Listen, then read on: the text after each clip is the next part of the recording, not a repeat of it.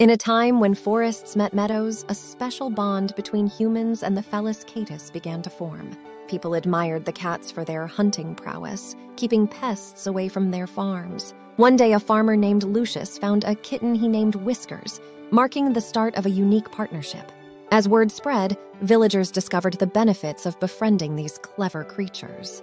Cats not only protected their crops, but also provided companionship.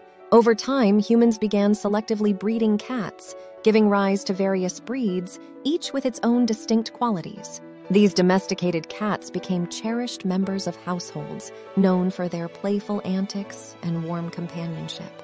Today, domesticated cats are found in nearly every corner of the globe, continuing to bring joy and comfort to human lives. Their story serves as a reminder of the enduring partnership between two species, forged in a time when nature's beauty met human ingenuity.